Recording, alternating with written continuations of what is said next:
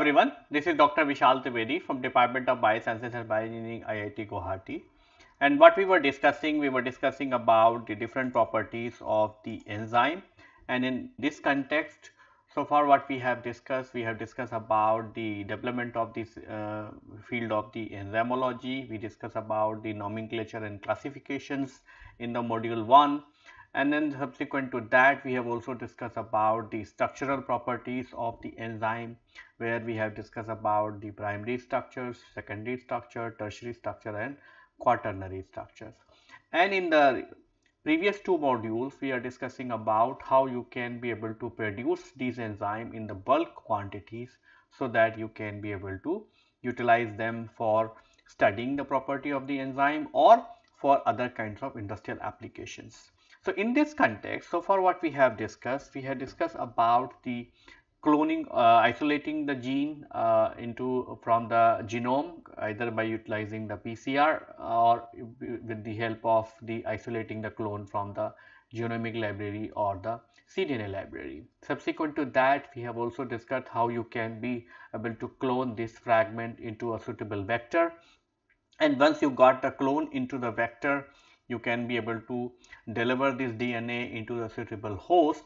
And once you got the transformed colonies uh, you can be able to utilize them for the uh, screening and as well as subsequent to that for the protein production. So, what we have discussed so far is that you are going to get the uh, transformed bacteria and or the transformed host that you are going to put it for the screening right? And once you got the screen you got the clone containing uh, host cells. Now, this clone can be used for the protein production or the enzyme production, protein or the enzyme production. Now, when we talk about the enzyme production, enzyme production uh, will depends on the type of host what you are going to use for the production. So, as far as the cloning is concerned, the cloning can be done into two different types of vectors. It can be done into the cloning vector or it can be done into the expression vector. In some cases, when you know that the uh, enzyme or the protein what you are expressing is uh, toxic in nature. So, in those cases you do not uh, do the cloning reactions, uh, cloning uh, related uh, performance or cloning related operations into a expression vector because then uh, you are going to produce a protein and then eventually it is going to kill the cell. So, that is how you are going to use in a cloning vector. Apart from the uh, uh, this uh, cloning vector can also be able to use for studying the mechanism of the transcription, replications and the preparation of the genomic and as well as the cDNA library whereas the expression vector is exclusively being used for studying the mechanism of the translation or as well as the enzyme production and ultimately it is going to give you the enzyme of your interest. Now, when you talk about the enzyme production, the enzyme production is a, is a complicated process and it requires the discrete steps. So, before getting into the uh, different steps uh, with the recombinant DNA, we should first understand how the protein production occurs in a particular cell. So, protein production is uh, is is a is a multi-step process, right? In a uh, is a multi-step process, and these steps uh, you have you you have to follow following steps. In the step one, the binding of the RNA polymerase to the promoter element to start the transcription to form the messenger RNA. So, in the step one, you are actually going to produce the messenger RNA and then this messenger RNA is going to be utilized in the uh, step 2. So, as soon as the messenger RNA is synthesized, a translational machinery starts the synthesis of the protein or the enzyme. The protein synthesis starts usually at a start codon which is called as AUG and ends at the stop codon which are called as UAE, UGA or UAG. In bacteria, transcription and translation occurs simultaneously because there is no nucleus right so transcription and translation occurs simultaneously whereas in the in the eukaryotic system you are going to have the transcription inside the nucleus and then the translation is going to be in the outside the cytosol. So, that is why in a eukaryotic system the transcription and translation are not going to be together whereas in the bacterial system you are going to have the transcription and translation together. So, in the step 1 from the gene you are going to produce the messenger RNA. So, RNA polymerase is going to sit onto the promoter region and then it is actually going to synthesize the messenger RNA which is responsible for this. This messenger RNA is going to be modified, you know, post translational modification and all that. And then ultimately the, uh, the first codon which is the AUG is going to be uh, the place where the ribosome is going to sit and that is how it is actually going to start forming the synthesis of the proteins. So, and then it is going to synthesize the polypeptide. This polypeptide is, is going to be get folded and that is how you are going to get the folded functional proteins. Uh, you can actually be able to read this so that you can be able to understand the subsequent process what we are going to do inside the host so that uh, and it will actually be able to helpful. So, I have given you a reference which you can actually be follow uh, to understand all of these processes. So, you actually require to understand the transcription and translation events then only you can be able to modulate and you can be able to understand how we are actually overexpressing the protein in the in the host system. Now, when we talk about the um, under the in vitro system, under the in vitro system you have the two different species. One is you have the host cells which you are going to use as the uh, protein uh, production machinery and then you also going to have the transforming agents which will actually going to use for providing the instructions which means you are going to first use the instructions and then you put it that into the production machinery and that's how you are going to use that production machinery for the protein production. So, as far as the host cell is concerned you have the multiple choices you can use the prokaryotic system either the E. coli or other bacterial cells you can use the eukaryotic system such as you can use the yeast animals and plants. Uh, and uh, as far as the transforming agent is concerned, you can use the different types of plasmids, you can use the mammalian uh, vectors, you can use the yeast vectors. And that all we have discussed when we were discussing about how you can be able to clone a particular gene fragment into a, a vector of your choice. So, what we are going to discuss uh, is what we are we are just going to discuss about the prokaryotic expression system we are going to discuss about the yeast expression system then we are going to discuss about the um, animal expression system. So, these are the things we are going to discuss. E. coli as an expression system which is going to be for the prokaryotic system, yeast as an expression system which is be a part of eukaryotic system and then we also going to in insect cell line as an expression system and the mammalian expression system. Now, before getting into of these choices, so you, for a particular gene you have the foreign choices right? You have four choices or even more than that okay? The first question comes how you can be able to select and try uh, and select the particular expression system because every expression system has its um, positive and negatives so the number of factors need to be considered to choose the host expression system suitable for the overexpression of a protein the first factor is that the quantity of the desired protein.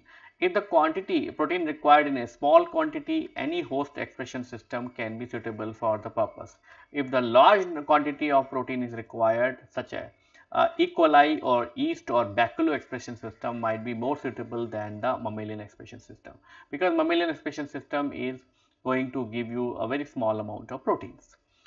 Then it also depends on the size of the protein. The E. coli expression system is not preferred for a large protein size of the protein, but an, an expression system is more suitable for the large size proteins. Then we have the compatibility, compatibility between the source organism and the expression system. So, in general, a close distance between the source organism and the expression system is preferred and may increase the chances of getting the expression of the cloned gene and the presence of protein in the soluble fraction. Then we also require, we have to see the downstream application. So, this is the most important criteria to choose a host vector system. If the protein production is for generating the antibody, any expression system may suit for this purpose, but if the protein is required for activity or for ELISA, then a compatible expression system is preferred. So, downstream application which means where you are going to use this particular protein is very very important criteria to select any of these hosts. For example, you cannot use the bacterial expression system in case you are going to use the downstream product for developing the vaccine or utilizing them for using uh, for production for generation of the antibodies or something because then there is a chance that you might actually be able to get some bacterial products and these bacterial products are many time causes the allergic reactions into the patients. So, if your downstream application is actually going to decide uh, what expression system is going to use. So, uh, in the E. coli expression system, so in a typical e component of an E. coli expression system, additional structural features are essential for an expression vector.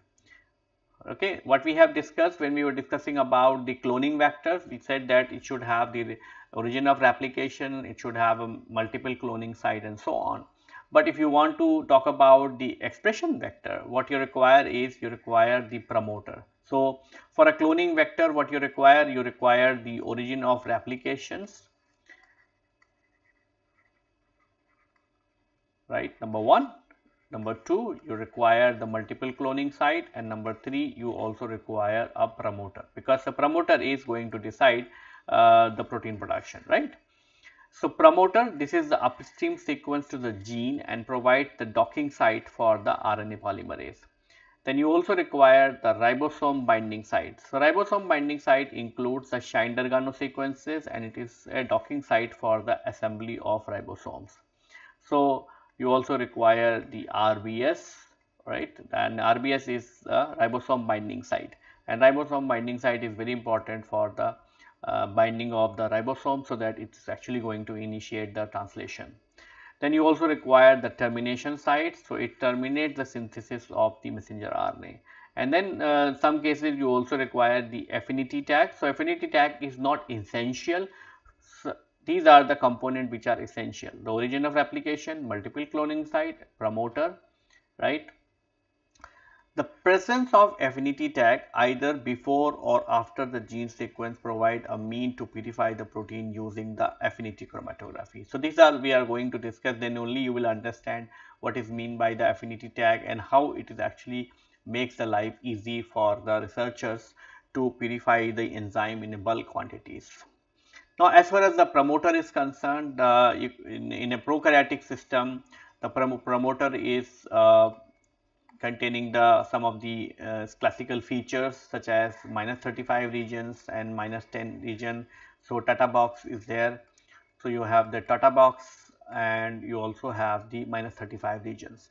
So, sequence at the minus 10 and minus 35 are crucial to facilitate the RNA polymerase and the subsequent determination of the strength of the promoter. So, as good these sequences are like minus 10 region and minus 35 region it actually going to decide how efficiently the RNA polymerase will go and sit to these region and that is how they are actually going to give you the better transcription.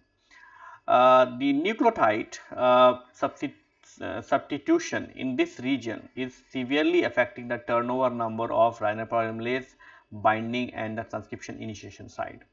Subsequently, a number of promoters are designed for the overexpression of the protein in E. coli using a strong or weak promoter to seize the overexpression strategies. So, we have the IPTG inducible promoter. It is widely being used for to the construct uh, different expression vector to express the protein in E. coli. The different vector contain the lac promoter or its derivatives. So, you have the three different types of promoters. You have the lac promoters, Examples of the plasmid is PUC series and PGM. Then you also have the uh, TAC promoters. So TAC is a uh, is a hybrid promoter where you have the some region of the tryptophan promoter and a LAC promoter. So it is a hybrid promoter where minus 10 region is a from LAC UV5 promoter and it is fused with the minus 35 region of the tryptophan promoter. Example is PKK 223-3 then you also have the TRIC promoters. So TRIC promoter, it is similar to the TAC promoter except that the distance separating the minus 10 and minus 35 region of the promoter is different from the TAC promoter. The example is PTRIC 99A. So either of these plasmids can be used for generating the recombinant DNA and then you can be able to transform that into the suitable host and then you can be able to use this for uh, protein production. The, then we have the bacteriophage lambda promoters. So this promoter keeps the tight control over the protein production. It is regulated by the presence of repressor CLTPS 8057 to either repress the transcription or not. CLTP5857 is a temperature sensitive and degraded at high temperature and consequently in a temperature dependent fashion it represses the transcription at low temperature but not at a high temperature. This promoter is useful in cases where the protein is toxic in nature. So then we also have the bacteriophage T7 promoter. So similar to the bacteriophage uh, PL promoter, the T7 promoters is used to design the plasmid with tight control on the protein production. These vectors contain most of the structural blocks from the PVR T22 and the MCS in front of the T7 promoter to drive the transcription of the insert.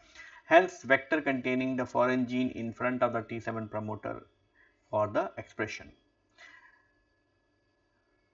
So, uh, T7 the host uh, E. coli also needs the modification to suit the T7 promoter and host E. coli is being transformed with a plasmid which carries the T7 RNA polymerase gene or the T7 RNA polymerase gene is integrated into the bacterial chromosome. In few host strain T7 RNA polymerase is placed under the tight control of IPTG inducible lac UV5 promoter to tightly control the production of the T7 polymerase. Uh, so, either of these promoters first step is that you are going to transform the recombinant DNA into the host and then you are going to do the protein production. How you are going to do the protein production?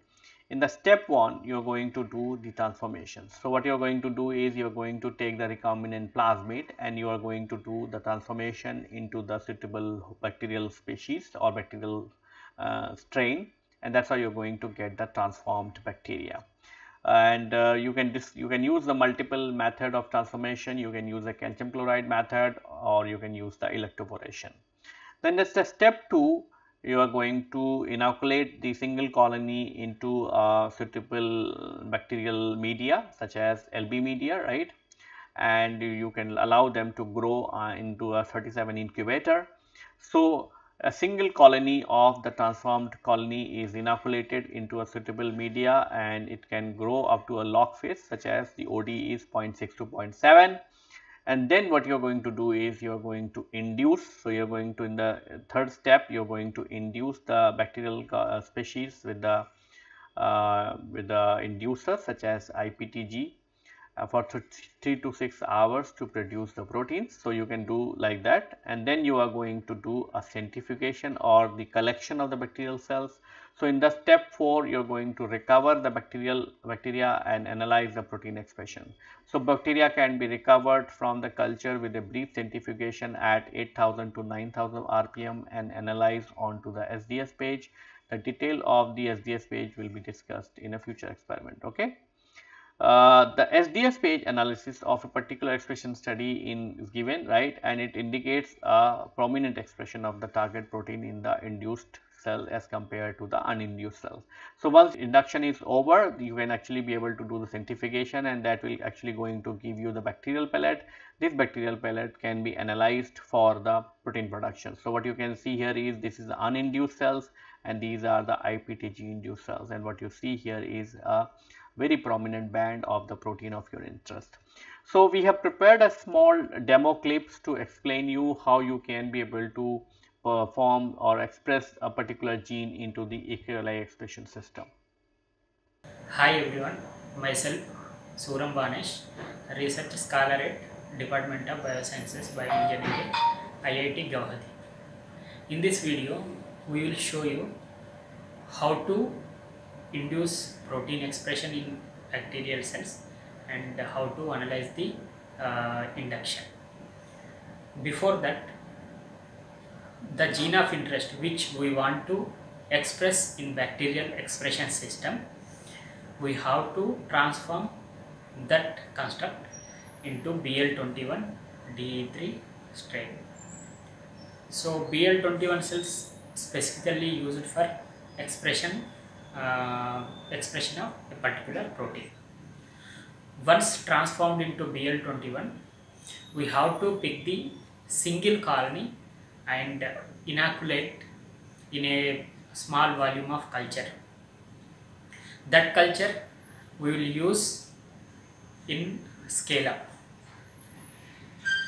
So I will show you how to inoculate, how to take single colony and uh, inoculate one colony in 5 ml of LB media and that we will use for further uh, experiments.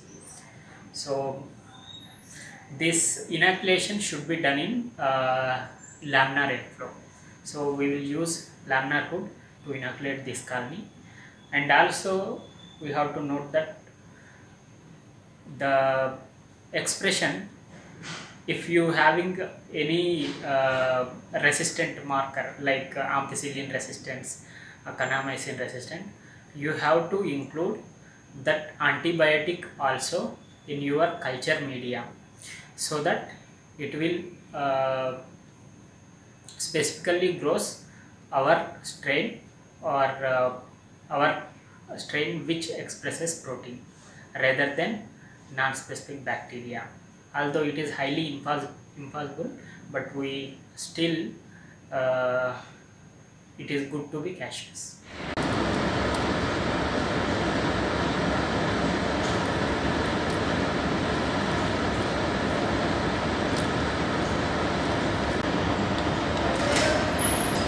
we have uh, inoculated single colony to LB media with a suitable antibiotic. Now what we have to do is keep in an incubator uh, till we, we get uh, growth of 0.4 or 0.5 OD before inoculating into large culture. So I will keep these files in incubator shaker. This is the incubator shaker. So we can actually rotate the base so that uh, uniformly the culture spread throughout the media. After we get growth, then we will inoculate into another culture that we will use for the induction analysis.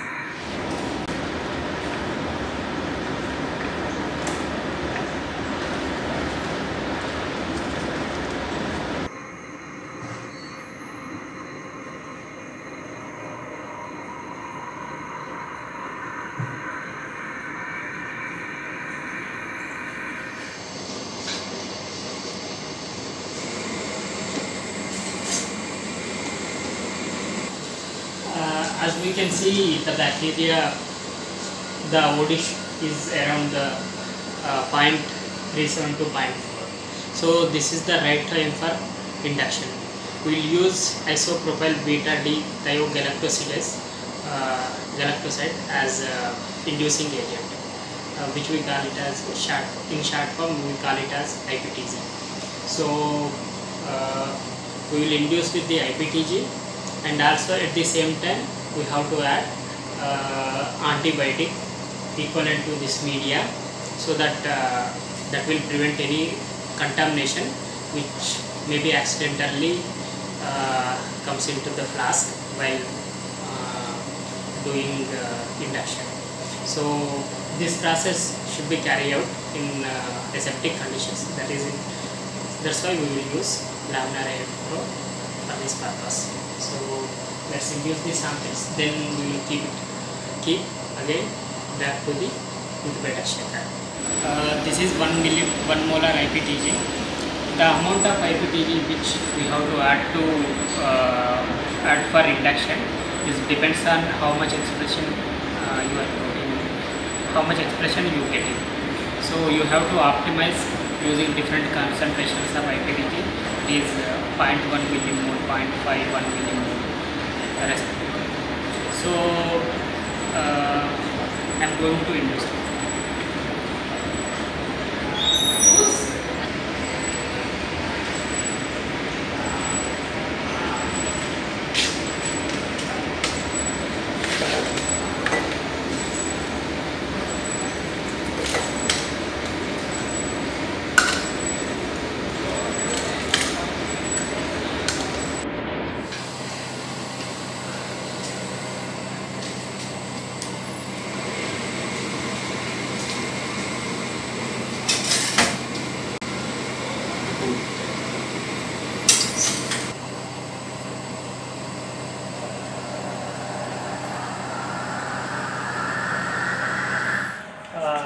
After induction we have to keep for 4 hours. Now the time is over 4 hours is over. So uh, we have to centrifuge and get the pellet. That we will use for the uh, sonication and protein purification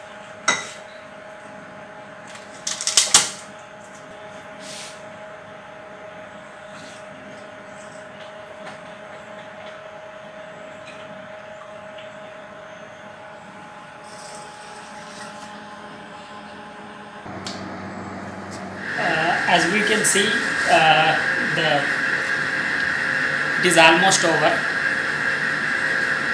So we can take out the gel. Then we will stain and destain it. Generally what we will do is we will uh, there are two ways of staining and destaining process. One is we can do quick staining like we have to heat it with the staining solution which contains Kumasi brilliant blue and uh, along with methanol and water. So then we will try to destain with the uh, water uh, by heating. But in another way, the simplest simplest way is we will just uh, uh, stain the gel for two hours, then we will destain overnight. So I am going to show uh, the simplest way. First we will stain in Kumasi Brilliant Blue staining solution then we will destain in methanol water containing uh. So I am going to stop the uh, children then I will remove it. I will show you how to remove the gel.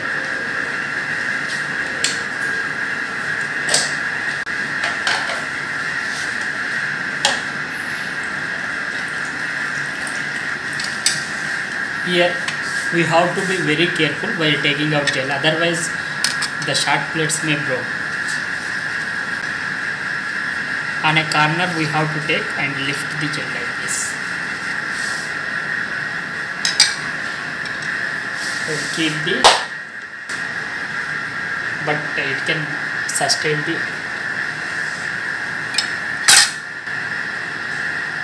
I will keep it for a uh, rotation for on a shaker for at least 2 hours then we will destain over.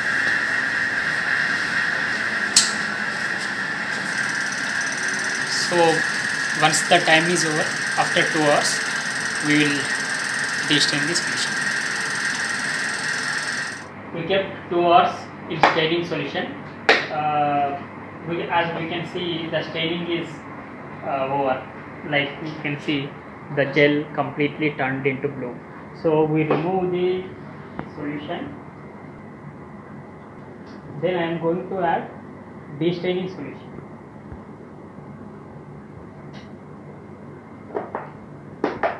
and I will keep this on a rocker for 2 hours for destaining so the composition contains uh, for 100 ml of uh, destaining solution uh, 40 ml of water double distilled water and 40 ml of methanol and uh, 10 ml of uh, glacial acetic so i am going to keep uh, this on a rocker we have run the gel and uh, stained it- stained and uh, destained. Now we will capture the uh, gel image. So we can see manually also but uh, for record purpose we have to capture it through gel dark. So this is the gel dark uh, imaging system from biorad so i'll show you how to uh, take the capture the images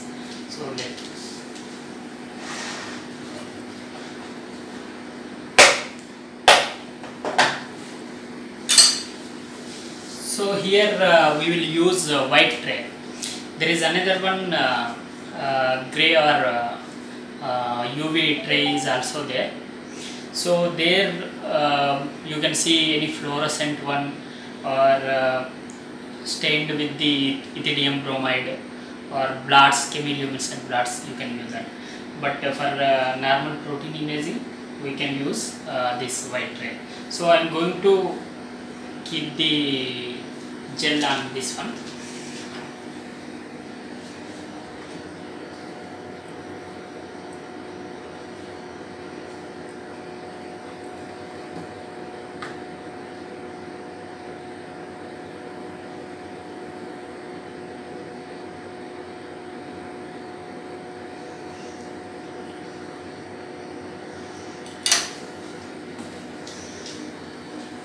so we have to open properly this is very important step. You have to align the uh, tray in a proper way. So otherwise it will show error so once it is over you just push it back. So we have to log on to account. So this is uh, SDS page you can select the application whatever you want. So here nucleic acids protein gels bloods three different uh, categories are there. So we are observing here protein gels. Protein gels stained with the kumasi blue.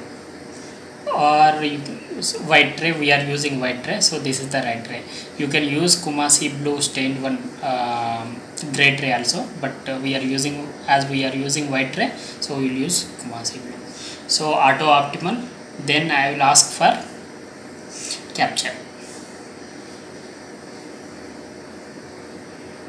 so it will take uh, 1 to 3 minutes based on the signal intensity. So as we can see it is optimizing the uh, signal intensity. You can minimize this one also so that you can see the gel image. So now it is over. If you want to do any modifications to image for suppose you want to decrease or increase the signal intensity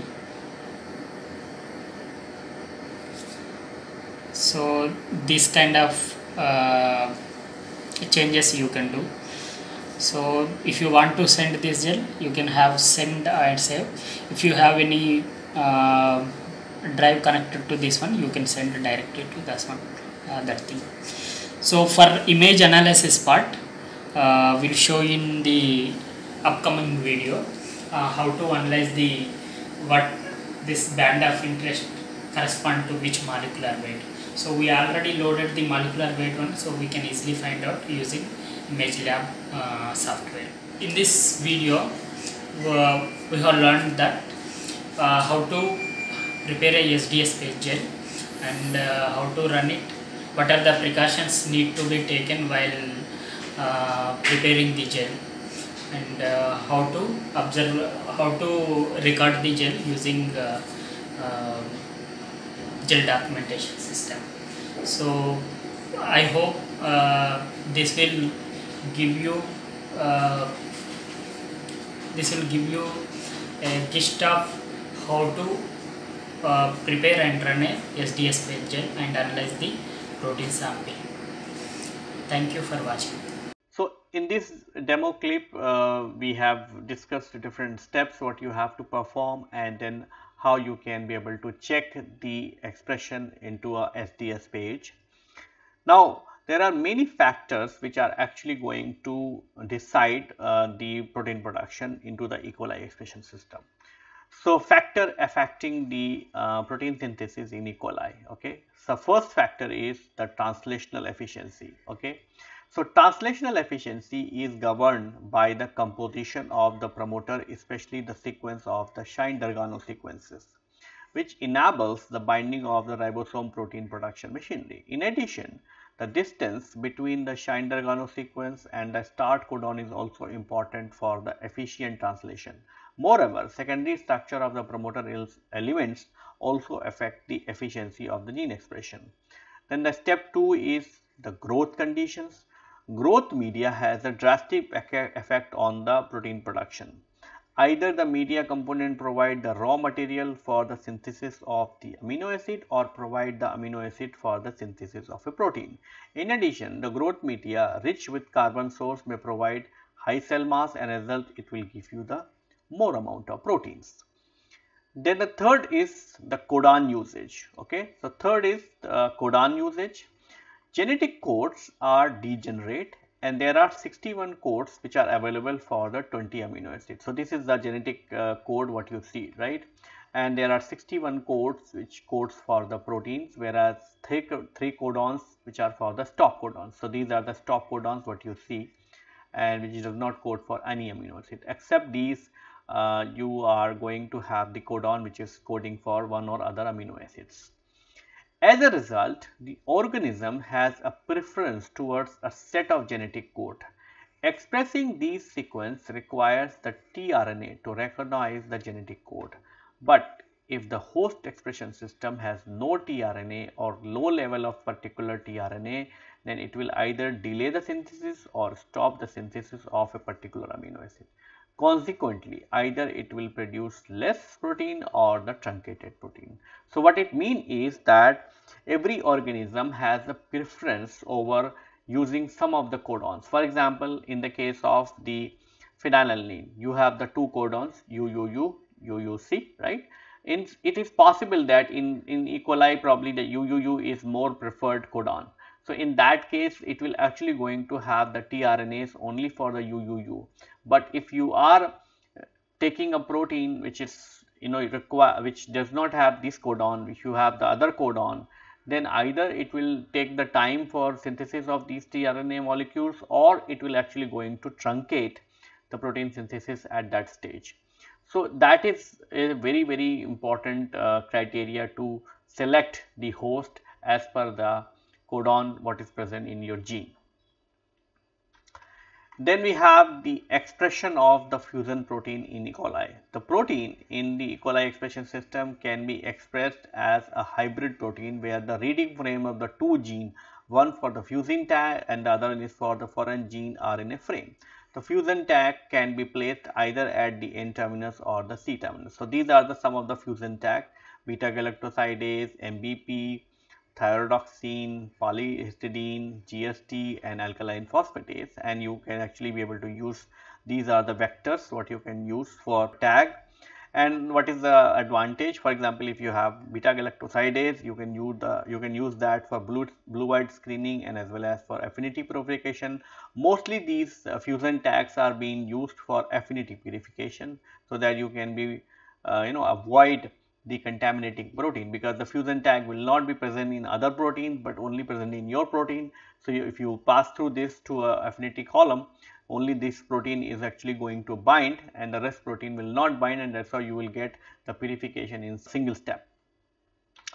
Uh, the advantage of the fusion proteins it is going to make the easy purification uh, you might have seen that the with the help of the affinity purification it can be a single step purification uh, sometimes the tags are being put so that you can be able to target a protein into a particular compartment.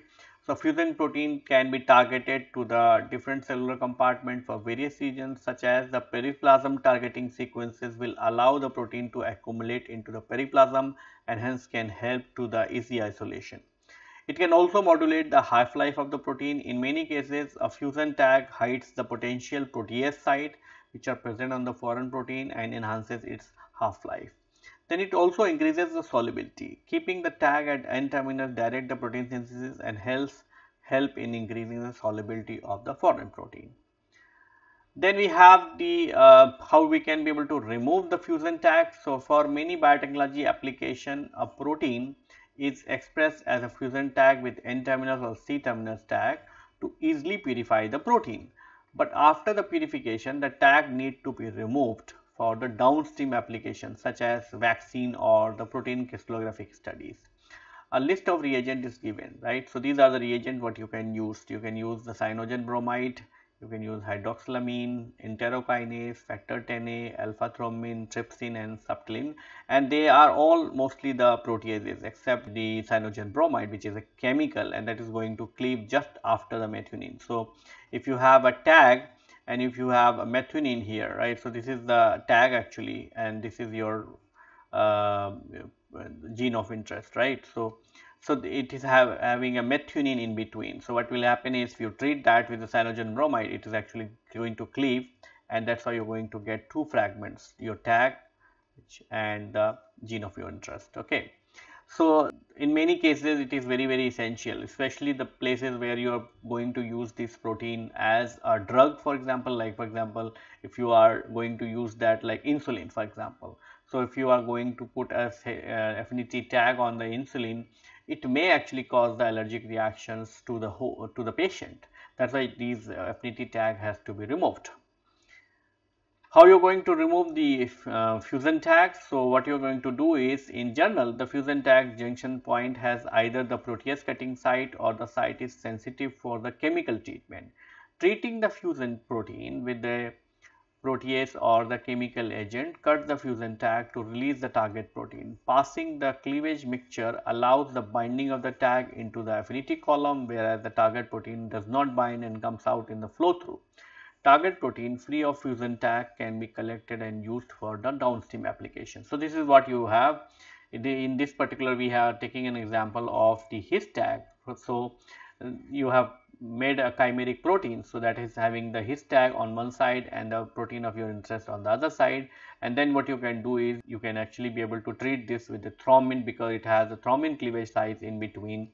So, what thrombin is going to do is it is going to remove the his tag and the protein and now what you do is you load this onto a affinity column and uh, as a result what will happen is that his tag will go and bind to the beads whereas the protein of your protein is going to come out into the flow through and that's how you can be able to separate the tag from the uh, protein of your interest. So this is all about the bacteria as the host system for protein production and what we have discussed we have discussed about the different steps what you have to follow which means in the step 1 you are going to uh, transform the bacterial species uh, bacteria with a with your recombinant DNA and we have discussed many methods what you can use for transformations.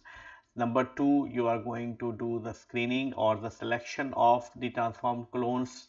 Number 3 you are going to grow a single colony you are going to inoculate into the media and that's how you're going to induce.